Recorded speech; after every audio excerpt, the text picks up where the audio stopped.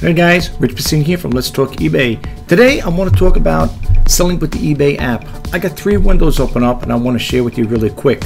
For those of you who don't have the eBay app, you may want to put it on your cell phone. Especially if you're going thrifting at your local thrift store, you might want to look things up prior to making a purchase. So without further ado, let's get right into it. Um, I received this email this morning. I clicked it on and it says selling with the eBay app, but there's two other windows I want to share with you. I will drop the links down to each one in case you want to read more into it. Um, over here, as you can see here, um, it's got the, you can download it for Android, uh, iPad, and iPhone. But being I use an iPhone 8, I'm going to click on the iPhone here, and it's going to bring up this window here. When you get to this window, it's going to the screenshots, iPad, iPhone, iMessage. We're going to click on iPhone, and you're going to see it over here. It says, treat yourself. It's got the save time, free shipping, sell safely. All right. Now we want to find out now, what you want to know, I should say, is if you do have the app on your phone, like I had, I had the older version uh, was the 6.60, 6.660, something like that. This one here is the version right here. If you want to check it out, you click on the version history and you'll see. It's the, yeah, this is the one I have right here, 6.660. This is the new one. Okay, so it even gives you a little notification here. Hello, eBay customers. Please update your app now to make the most of your eBay experience. Enjoy the latest features and more. Okay, so if you want to read more on the ratings and reviews, seems like it's got a five star rating here so far, four on this one. You could check it out if you choose to do so at your own leisure. Now, I'm going to go to that in a little bit. We're going to do a screen share. I'm going to show you my phone, you know, uh, my screen here, how to change it and how to update it. Again, this is basically for the doobies, all right? But here's another window I want to share with you guys over here. This is using the eBay app. And now I'm going to give you the uh, URLs to all three of these windows over here. And I got another one here. Okay, this one right over here, it says upgrade your shopping experience with the eBay app. And over here, it's got simplicity, daily deals, special offers, price notifications. Okay. And you could read a little more into it. It breaks it down a little. Like over here, it says simplicity, as easy as one, two, three. Browse, choose, buy, make your desired purchase in just three steps. Okay, browse trendy items, home and garden, power tools, parts and accessories, and so on and so forth. Okay, now I'm going to try to keep this as quick as possible because, like I said again, I know you guys are busy and you don't want to. I don't want to take too much of your time. Now over here, if you have an Android phone, you can go over here to the Google Play Store here and just click. You know, just uh, take your barcode reader on your phone click it on and it will bring you to that app and here's one for the app store like I said it comes for Android and iOS systems all right, what I'm going to do right now is I'm going to bump out of here and I'm going to go do a screen share and I'm going to talk a little about it. Um, there are some pros and cons with this app, okay? Now you're probably wondering what are the pros and cons? Well, for example, I'm going to do a I am going to show you an example of it in a little bit. Um, with some of the photos, when you're doing a photo image, like for example here, don't mind my squeaky chair, um, I, I did a, I did a photo on this here. These are Sony headphones, which are on eBay right now. This is no, this is not a segue. It is not a segue to get you guys to buy. But if you do want to buy it, you're more than welcome to. Anyway, um, I took a photo of these here with the eBay app, and it did bring you up like that. You know, it brought you to the uh, screen there where you can see what they are selling for. The feature I wanted to show you is the uh, sold and completed listings. Now, it works with the barcode reader. Um, you'll be able to see that. And I'm going to show you in a little bit, but um, I do find it, uh, as far as like the new version with this here, a little it's a little uh, sketchy, like not sketchy, but it's a little intermitting. Um, I was taking a picture of a hat. I have an amazing Spider-Man hat, and it took me to a different hat. So I don't know if it's the algorithm. It could be because it's new. You got you know they got to perfect the bugs in there, or whatever. But um, I'm going to show you in a little bit uh, you know, what I'm referring to here. So let me bump out this screen here, and I'm going to do a screen share of um, my iPhone. Okay, here we are with my iPhone doing a screen share here. And as you can see, I can move it back and forth over here. Um, if you have the old version on here and you, you're not familiar on how to get rid of the, uh, or I should say remove the app, very easy. Hold your finger on the phone. Here, I'll show you like this here if I could. Just hold it on here like this. This is the one we want to get rid of right here, the eBay app. Can you see it right there? I don't know if you can see it. It's a little glary, but anyway, what you're going to do is you're going to hold your finger on it like that, and you're going to get a message that's going to come up like this here. It's going to say remove app. Okay, and so it's going to delete the app. Okay, once you delete it, it's off. Okay, next thing you want to do is go to the App Store, and we're going to go over here and right over here, and we're going to just type in in the App Store um, eBay. Do a search, and we want this one right here. I'm going to use my mouse over here to move it over. The one that says buy, sell, tech, home, and toys. You're going to click this little arrow down here. It's going to do its little spinning thing. And I'm going to show you how to check the versions on it. And I'm just going to do very basic, um, you know, I want to show you how it works uh, as far as like what you want to do is see the completed sold ones, okay? All right, once it's finished, we're going to hit the open button. Okay, I'm not going to sign in right now. I'm just going to leave it as it is like this here because I don't want to go through the sign-in process at this point in time. And what we're going to do is we're going to, first off, if you want to find out what your what your latest version is on uh, your, with your eBay app, just go here and you see where my mouse cursor is moving here. You want to hit settings, okay, and then what you want to do is you want to scroll down, and you can see right here it says 6.661. That's the latest version. That's the one I received today, the email. That's what they was telling me about the new uh, newer version. Okay, so let's go back here. Now, over here, you're going to see a little camera. Okay, now they always say when you're taking pictures, move that mouse away. Um, when you're taking pictures of items, like let's say you're in a thrift store, um, you could try place it somewhere where there's not too much other stuff and you know obscuring it or like in the background because it could be distracting I guess and when it takes a picture uh, when it does its search feature it might throw it off a little now I found sometimes using this program um, that it'll take something totally different okay and then you got to go in and actually type it in you know the make the model whatever.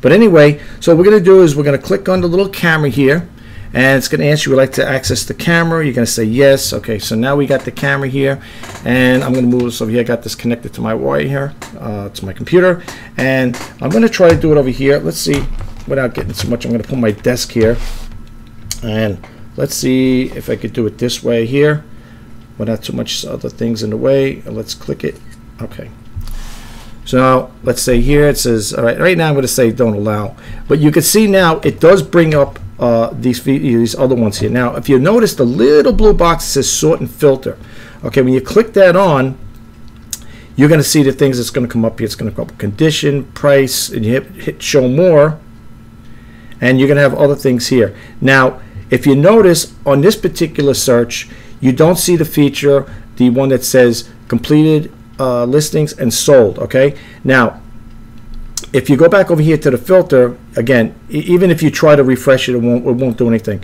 There's a little gear here. This little gear right over here. I got to use my mouse to show you. This one right here. You're to click that on. Okay, let's click it on. And it's to say expand. Whoops. Let me go back over here. I'm sorry, guys. That's, we don't want that again. Here we go. Click that on. And see over here it says expand all filters you're going to want to enable that. So you're going to click that on. Now, I'm not saying that's going to be a game changer. It's definitely going to make it work, but that's what you want to do anyway. You could also lock and make the filters lockable too. But let's go back over here. And again, let's do the filter. Now, you notice you still don't see it here on this particular item, okay? You don't see this here. Now, you might say, okay, so why is it so important that you want to see the completed and sold listings? The reason why, let me go back here the reason why you want to see the complete and sold listings, you want to see what they sold for. What you see here now, folks, is people like you and I, we're putting these in, we're just giving set prices here, okay? What you see here doesn't necessarily mean it's going to sell for that. It depends. I'm not going to click on each one. If the person's firm and that's what they want, then that's it'll sit there until it sells for that. Um, they may have best offer. Now you can see right over here with the top one, well, not the top one, right over here, this one, he's got best offer for 12 bucks. Okay, so you know if you want if you wanted to see if this thing was working properly, you'd want to see what this thing actually sold for. Okay, but right now, even with the filter, you can't really see that there. Okay, you can look here. You can see. You can see as I'm scrolling down, you don't see where it says uh, completed listings and sold. All right, so that's what happens sometimes with this type of uh, search. Okay. All right, so again, you could get like a ballpark figure, but I'll be honest with you, folks. Looking at these things here, uh, just going up and down here, look at the prices: six eighty-five, seventy-nine ninety-nine, pre-owned, whatever. You know, um, it's nice to get an idea of what it actually sold for because you and I could put whatever prices we want here. It doesn't mean we're going to get it. Okay. All right. So now you might say, okay, so what's the next step now? All right, let's take this one over here. I purchased this item and I plan on doing a video on this. Uh, so if you ever want to check it out, I'm going to talk a little about it and stuff like that. But anyway, um, this one here is purchased a while back and I am going to do a video on it. And we're going to go by the barcode reader. Okay, now we're going to try with the barcode reader. All right, so let's go over here, click on the little camera. Let me just move my, my mouse cursor over here. We're going to click this on right here. Now, you notice over here, you got the bar, this is the barcode reader, okay? If you click it on, it brings you to the camera. So if you ever see it or you don't see it there, don't take it that it disappeared. It's because you got to enable it. So when you hit the camera on, then that enables the barcode reader, okay? So in this case, we're going to uh, read the barcode over here for the Vimble 2, okay? All right, so let's get our phone over here. Let's click on barcode reader and as you can see, there's a little message that points over here. It says at the bottom, again, where my mouse is over here, it says point your camera at the barcode. So we're going to do that. And let's see what we get. All right, that was quick. Okay. Here, you got, it showed three so far, right? You got the one for $39.99, one for $45, and one for $69.99. Oh, and also $72.69. Now, remember I was referring to the filter. So when you click on the filter, it's going to say show more okay you're going to click that on and over here I'm on my mouse over here you're going to see two of them the ones that I was referring to earlier the completed items and the sold listings when you enable that you click the button on they both enable. If you click either or okay you only have to click one of them. I clicked on the sold items. Now they're both like that. Now they're showing you three results okay that that had sold. So let's click that on. And these are the ones that sold for the prices that you see here in green, $69.99, $39.99, and the other one was for $17, okay? Now, you're probably wondering, why am I why should I be interested in this here? Well, it gives you a ballpark figure. First, not only that, it lets you know what it actually sold for.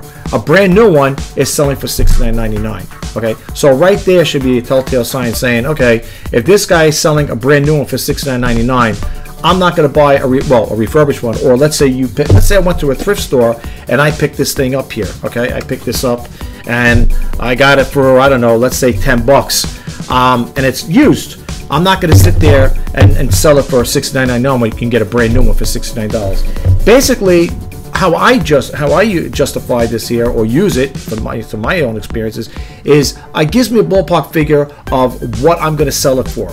I always said in my in my other videos, I used to say when it comes to pricing, I don't like to go too high and I don't like to go too low. I like to stay right in the middle. And sometimes, even in the middle, you gotta bend a little, right? You gotta bend a little, even in the middle. No, seriously, um, you do. You really do sometimes. And um, like I said again, these are the ones that you see here. These are sold. Okay. Now this guy here, uh, the one for $69.99, he's got best offer. And usually, if there's one that's sold, you'll see a little line there you know, like in other words, he took it even less than $69.99. Okay, and that one you can see. The other one for $39.99, best offer. That person didn't make anything, you know, make any offer on it as far as like ask for it cheaper. Um, they do, they have it there. So, but I'm just trying to tell you that's how you could gauge your pricing. Um, if you're getting something that's used, you don't want to, you know, sell. You could try. You could sell it for the $69.99, but I don't know if you're going to get it because people are shopping around. You know what I'm saying? Me personally, um, if somebody was selling a used one like this here uh, for that kind of price, I mean, you know, used for $69.99, I'd be shopping around. I'd go definitely with a guy for $39.99. The one for um, $17. He's got bids on there, so he's got an auction. Okay, these guys here apparently are fixed prices here. Whenever you see bids, that means the guy's doing an auction. So he's up at three bids. He's like at $17 for it. And if I was into it where I really wanted to, I didn't want to wait for it, whatever, for the auction to be over, I would have went with the $39.99 uh, because I am a little cons- I am a conservative spender, so I don't really want to go too crazy with this here. But this one here, I got this for a good price. If you do like these videos, please don't forget to hit the subscribe button, like, comment, and share. And if you want to be updated when I post out new videos, please hit that bell notification icon. My name is Rich Pasini. You're watching Let's Talk eBay. Today is July 3rd, 2022. Thanks again. And I just want to say before I close out, if you are thinking about selling on eBay or you are a seller on eBay, I'm wishing you guys all the best in sales. Until next time, good luck and bye bye for now.